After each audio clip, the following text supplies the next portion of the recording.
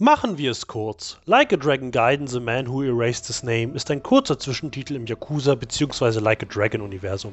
Hauptfigur Kazuma Kiryu versucht, wie so oft, dem Yakuza-Leben zu entfliehen. Ähm, dieses Mal arbeitet er als Agent für eine geheime Organisation, die ihm hilft, seinen Tod vorzutäuschen. Doch dieser Deckmantel hält nicht lange und Kiryu findet sich ähm, eben mal wieder in einem Bandenkrieg wieder. Das Besondere an diesem Titel ist, dass ähm, also ein Gaiden, dass er sehr kurzweilig sein soll, ähm, schnell mit, mit eben Recycling von Elementen aus vielen anderen Titeln produziert wurde und man wirklich in dem Universum drin sein muss, um die Handlung zu verstehen. Ähm, Gaiden spielt parallel zum siebten Teil der Hauptreihe, Yakuza Like a Dragon, und man muss das Remake des ersten Teils, Yakuza Kiwami und vor allem Teil 3 bis 5 noch kennen, um das Ende möglichst gut erfassen zu können. Der Grund, warum ich mich nicht lange mit der Review für Gaiden aufhalten will, ist, weil es wirklich ein kleines Spiel für zwischendurch war, ähm, es mich nur okay unterhalten hat und ich mir nicht sicher bin, was es wirklich für die zukünftige Handlung der Reihe bietet. Ähm, also das, das, das, das Guiden viel in seinem Spielablauf recycelt, finde ich nicht mehr schlimm, nur dass das Spiel an sich wieder recht viel bietet, obwohl es kürzer ist. Und im Vergleich zu den Content-Monstern, der anderen Teil der Serie, fällt es hier aber besonders negativ auf, wie viel recycelt wurde, weil es auf dieselbe gleiche, also weil es auf dieselbe Art und Weise in den Kämpfen wiederverwendet wurde. Ähm, die, die Spielstruktur funktioniert nämlich so, ihr folgt erstmal lange der Handlung, habt eine kurze Gameplay-Sequenz, dann folgt wieder Dialoge und Sequenzen, die halt etwas lange gehen.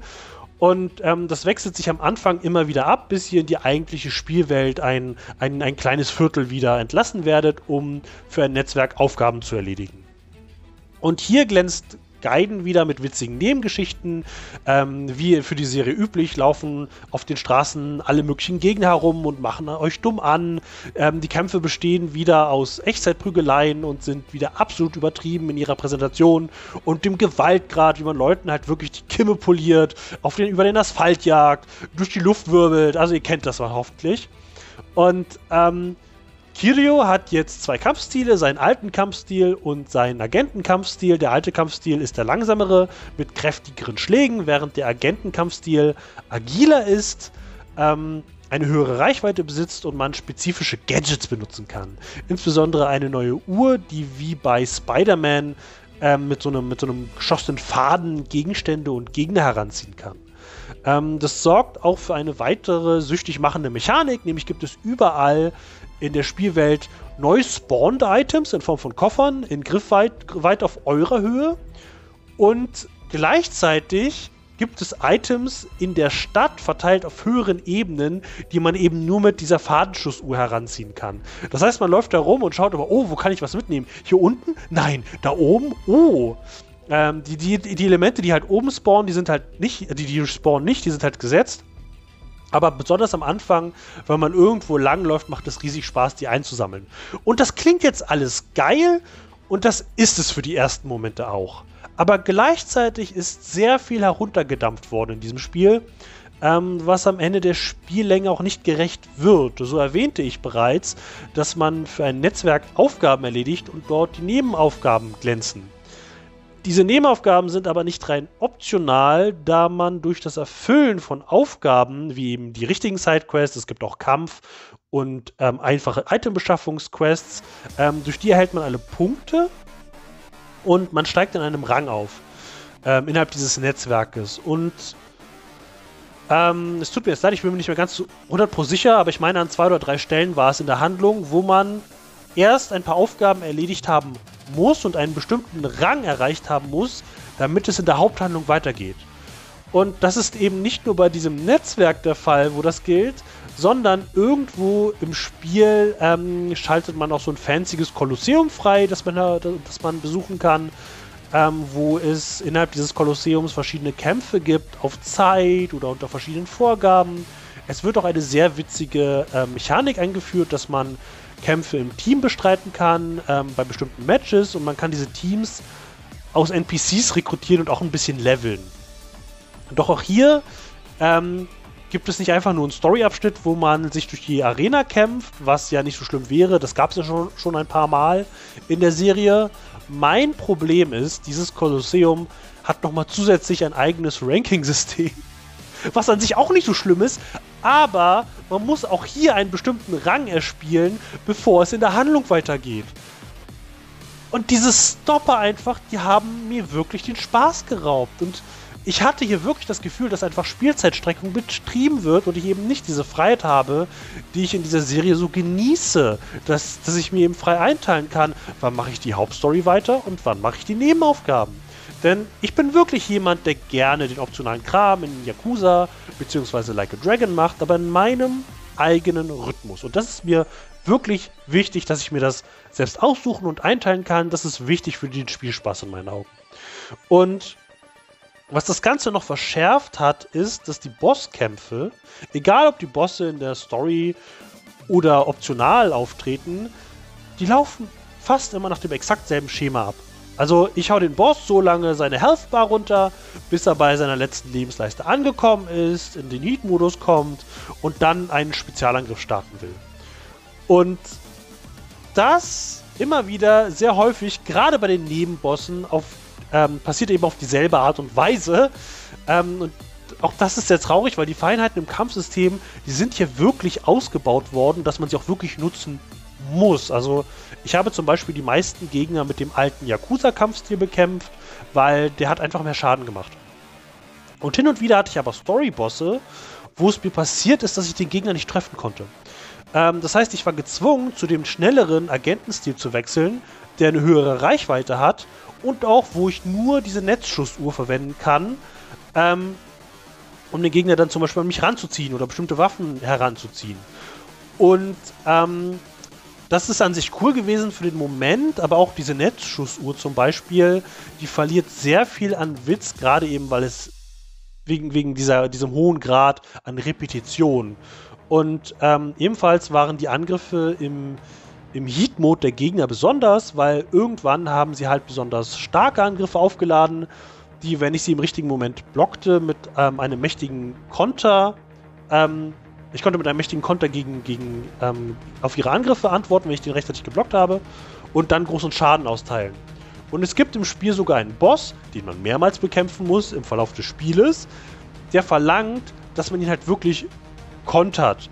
Und an sich ist das super, dass ich gezwungen werde, wirklich äh, meine Stile und Kampfstrategien zu wechseln, dass es eben nicht repetitiv wird. Aber genau das läuft immer nach demselben Schema ab. Denn ähm, auch dieser eine besondere Boss, den man kontern muss oder zumindest wirklich kontern sollte, tritt, wie ich bereits sagte, wie auch viele andere Bosse tatsächlich, ähm, immer wieder auf in mehreren Bosskämpfen. Und auch viele optionale Bosse scheinen das gleiche Grundsystem abzulaufen mit häufig den gleichen Attacken, mit dem gleichen Timing der Attacken, mit dem gleichen Punkt, wo sie in diesen Heat-Mode kommen und dann ihre Spezialattacke aufladen. Und auch dieselben Animationen verwenden. Und einfach, einfach alles in diesem Spiel wird durch diese Repeti Repetition und durch diese, dieses Recycling verwässert. Und wie gesagt, ich mache gerne die optionalen Kram, äh, die, die optionalen Sachen, aber nicht wenn sich die Kämpfe so gleich anfühlen. Ebenfalls gibt es auch ähm, viel weniger Items, es gibt viel weniger Läden, viel weniger Aktivitäten und an sich wäre das alles okay. Ich habe an sich auch kein Problem mit den vielen recycelten Elementen. Das Problem ist nur, dass zu viel aus diesen recycelten Elementen gebaut wurde, was ich in denselben wiederkehrenden Formen machen muss, damit das Spiel weitergeht. Das in meinen Augen deutlich schneller hätte erzählt werden können, wenn es eben nicht diese ganzen Sachen dazwischen streut. Also wäre nicht so schlimm gewesen, ganz kurzes Yakuza. Hätte ich, hätte ich wirklich nicht schlimm gefunden, noch kürzer als das. Denn insgesamt, ich habe es ja schon gesagt, hat mir dieser Titel nicht viel gegeben. Die Handlung fand ich als Riesenfan der Serie enttäuschend. Nach hinten hin wird das Spiel immerhin spannender, weil es actionreicher wird. Das Spiel gipfelt in einem bombastisch emotionalen Finale. Und doch musste ich mich schon teils durchquälen. Und ich habe einfach das Gefühl, diesen Titel muss man einfach nicht spielen. Ähm, abgesehen davon, dass man jetzt kein Spiel wirklich spielen muss, aber ich meine, wenn man Fan ist und die Handlung verfolgt. Ähm, ich respektiere jedoch, dass das Like a Dragon Team wieder ein Experiment gewagt hat Und ich hoffe, es bleibt bei diesem einmaligen Versuch, wenn man wieder so einen kurzen, aber gestreckten Titel anstreben will, macht doch lieber, wie ich bereits sagte, kürzere Titel. Also Experimente kennt man ja aus der Serie schon allein mit ähm, Kensan, dass sie nie rausgekommen ist, oder mit Ishin, was ja auch ein Experiment war. Ähm, ich bin gespannt, ob, wie gesagt, ob Gaiden wirklich wichtig für den achten Teil der Reihe Infinite Wealth wird. Ich bezweifle es einfach. Und ich will hier auch ganz kurz über einige technische Aspekte sprechen, denn irgendwie hat mich massiv gestört, wie dunkel das gesamte Spiel war. Und dabei habe ich sogar die Helligkeit um eine Stufe ähm, in den Optionen erhöht und es würde mich nicht wundern, wenn es anderen genauso geht. Ähm, ich muss auch sagen, manchmal klangen die Sound-Samples nicht so gut. Gerade beim Kolosseum und den merkwürdig im Hintergrund fortlaufenden, also im Hintergrund laufenden Feuerwerk, das man hört, ist mir halt aufgefallen, dass dieses Poppen ähm, das hat sich nicht gut angehört, angehört und ich dachte manchmal, das sei ein Fehler irgendwo anders im, Sound, im, im Soundsystem des Spiels. Ähm, an sich, das Kolosseum sieht aber absolut beeindruckend aus.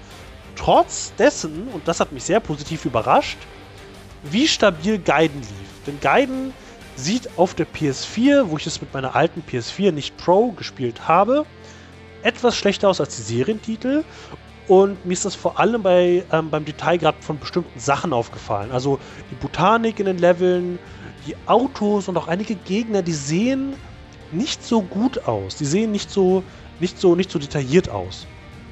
Und das, das nehme ich dem Spiel aber auch nicht übel, weil Gaiden lief absolut flüssig. Und das betone ich, weil Lost Judgment und Yakuza 6 mit all ihren Effekten in den Kämpfen meine PS4 wirklich an ihre Grenzen gebracht hat. Also, ja, Grenzen gebracht haben. Also, ähm, und ich muss das wirklich, ich will das wirklich erwähnen, weil trotz meiner Kritik an Gaiden, ich schätze es sehr, dass hier scheinbar nochmal wirklich ähm, das Spiel für die alte PS4 optimiert wurde. Dass man wirklich nochmal scheinbar geguckt hat und gesagt hat, okay, das muss doch auf diesem System besser laufen, nicht über den anderen beiden Titeln. Und ähm, das war es jetzt erstmal von meiner Seite. Das Video ist jetzt doch nicht so kurz geworden. Ich musste einfach meinen Frust wegen Guiden abladen, von dem ich hoffe, dass wir nie wieder so ein Spiel in der Serie sehen werden. Ansonsten gerne kürzere Spiele unter Streckung, Sega.